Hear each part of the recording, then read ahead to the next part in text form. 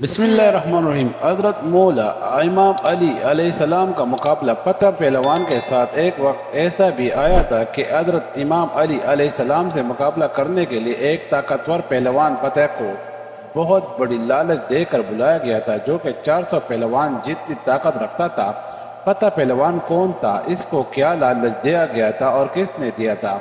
और इस पहलवान से हज़रत इमाम अली सलाम ने कैसा मुकाबला किया था ये पूरे वाक़ तफसील से मैं आपको इस वीडियो में बताऊँगा। तबूक के करीब एक कबीला आबाद था। इस कबीले का एक सरदार था जो कि इस हिस्से का बादशाह भी था और हज़रत इमाम अली सलाम से बहुत बोझ रखता था और काफिर था। इसने इमाम अली सलाम को कत्ल कराने के लिए एक मनसूबा बनाया और अलग अलग मुल्कों से ताकतवर पहलवान बुलाए और इन पहलवानों के आपस में कुश्ती करवाई 400 पहलवान इन सभी की आपस में कुश्ती करवाई। 400 में से 200 निकले, फिर इन 200 पहलवानों की कुश्ती करवाई। इनमें से से 100 निकले, फिर इन 100 पहलवानों के आपस में दोबारा कुश्ती करवाई। इनमें से 50 निकले, इनकी कुश्ती करवाई। इनमें से 25 निकले, ऐसा करते करते इनमें से सिर्फ़ दो रह गए और इन दो के आपस में कुश्ती कराई।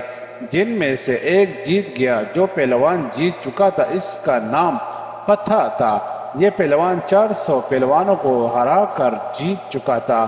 बादशाह बहुत मुतासर हुआ और कुछ दिन पता को आराम करवाया, फिर इसे बुलाया। अब इस पहलवान से कहता है, बात सुनो, अब मैंने तुम पर इतना खर्चा किया है, इतना पहलवान मंगवाया इसकी वजह क्या थी? क्या तो वजह जानते हो? पहलवान ने कहा, नहीं, मैं वजह नहीं जानता।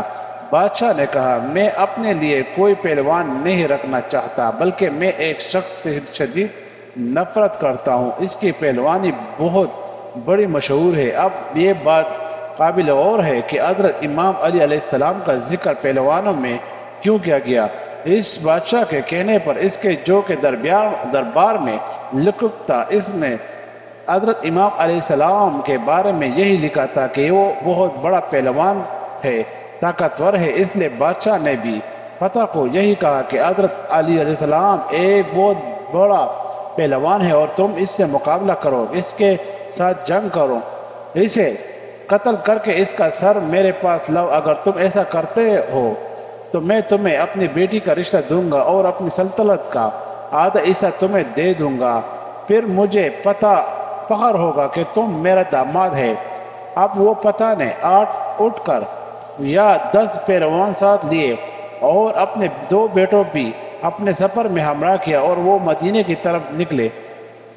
जब वो मदीने के हदूद में पहुँचे तो वहाँ पहुंचकर उसने अपने खेमे वहाँ लगा लिए। अगले सुबह फजर का वक्त था। एक शख्स मदीना शहर से निकला। इसके हाथ में एक बेलचा और एक रंबा था। इसे देखकर फतेह के बेटे ने कहा, बाबा, वो एक शख्स आ रहा है, क्यों ना हम इससे पूछ ले कि अली कौन है और कहाँ मिलेगा? इन्होंने इस शख्स को बुलाया, ए नौजवान, इधर आओ, उस शख्स ने फरमाया, काम आपको है, और आइए पता और इसके बेटे चल पड़े और वो पास आए और कहा, ए अली, ए नौजवान, हम इस शहर में आए हैं एक शख्स की तलाश में, इसके मुतालिक पूछना है, इसने कहा, क्या पूछना चाहते हो? पूछो, फतेह के बेटे ने पूछा, इसका नाम अली है। हम जिससे मिलना चाहते हैं, उस शख्स ने फरमाया, आप पहले इससे मिल चुके हैं। उन्होंने कहा, नहीं, कभी इसको देखा है? उन्होंने कहा, नहीं, कभी इसकी आवाज़ सुनी है? उन्होंने कहा, नहीं तो फिर इस नौजवान ने पूछा, तुम्हें अली से क्या काम है? उन्होंने कहा, हम इससे कुश्ती लड़ना चाहते हैं। नौजवान ने पूछा, वो क्यों? पता और इसके बेटे बोले, हम इसके शख्स के साथ लड़ने का इनाम मिलेगा और मुझे मेरी पसंदीदा लड़की मिलेगी। इस नौजवान ने कहा, ऐसा करो, पहले मुझसे लड़ो। अगर जीत गए तो अली से भी मुकाबला कर लेना, क्योंकि मेरे अलावा अली का पता कोई नहीं जानता। कोई नहीं जानता कि अली इस वक्त कहाँ है। नाजरीन करा वो शख्स हज़रत अली सलाम ही थे। पता ने इनके साथ कुश्ती लड़ सुश्ती करने की खामी बर ली। एक तरफ़ हज़रत अली सलाम, दूसरी तरफ़ पता पहलवान मैदान सज गया था।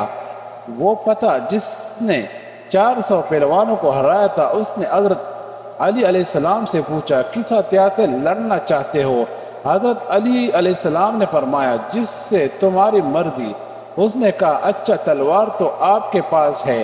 नहीं, हज़रत अली सलाम ने फरमाया तो तलवार छोड़ मेरे पास बेलचा है। तू तलवार से लड़, मैं बेलचे से लड़ता हूँ। मेरी तरफ़ से ये बेलचा तेरी तलवार का मुकाबला करेगा। पता ने कहा अच्छा बड़े बहादुर हो, अगर आप इतने बहादुर हो तो वो अली सलाम कितने बहादुर होंगे? दोनों मुकाबले के लिए तैयार हुए।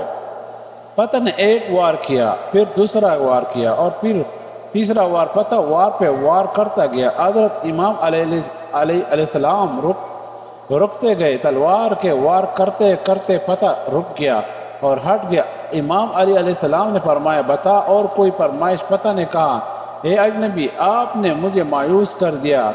तलवार और बेलचे की लड़ाई ख़त्म करो। अब हाथ से लड़ते हैं। पता नहीं, एक वार किया, फिर दूसरा वार किया, फिर तीसरा वार किया। लेकिन हज़रत अली सलाम दिफा करते गए। हत्या के पता थक गया। फिर पता कहता है आप तीसरा दंगल लड़ते हैं जिसम से, जिसमें मुझे फन है, महारत है, जिस तरीके का इस्तेमाल इसमें आखिर मैं करता हूँ, बिरची में आप बर्ची से लड़ना चाहते हो? हज़रत इमाम सलाम ने फरमाया, ठीक है, तू बर्ची से लड़, मैं अपने दानती रंबे से लड़ता हूँ। इससे भी यही हुआ। पता वार पे वार करता गया। इमाम सलाम रुकते गए। क्योंकि हज़रत अली सलाम लड़ते वक्त बंदे के चेहरे को कम दिल को ज़्यादा देखते थे। हज़रत अली सलाम ने यह महसूस किया कि इस शख्स के अवजार चल रहे हैं, लेकिन दिल साफ़ है। अब क्या हुआ कि पता ने कहा मैं तक गया हूँ, तूने एक बार भी नहीं किया। और तू वार कर। हज़रत इमाम सलाम के पास जो रंबा था, आपने पते की तरफ़ इशारा किया और करते गए। हज़रत इमाम सलाम रंबे को ऊपर करते जा रहे थे। पता भी रंबे के साथ ऊपर ऊपर उठता जा रहा था। पता घबरा गया, बेटा परेशान हो गए, नौकर सारे खौफजदा हो गए, ये क्या माजरा है? अगर इस बंदे में क्या ये कमाल है तो फिर अली सलाम के कमाल का आलम क्या होगा?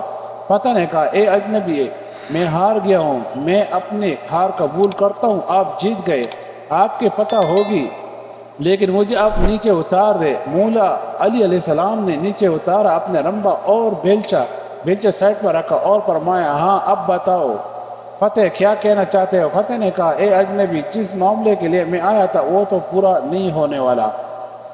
आप तो मुझे बता कि आप कौन हैं? मौला अली सलाम ने फरमाया, जिस अली को तुम ढूंढ रहे हो, वही अली इबन अबी तालिब सलाम मैं ही हूँ। जैसे ही फतेह ने यह सुना, रोने लगा, डर गया खौफजदा हो गया। मौला सलाम ने पूछा, क्यों रो रहे हो? इसने कहा कि बड़ी उम्मीद लेकर आया था।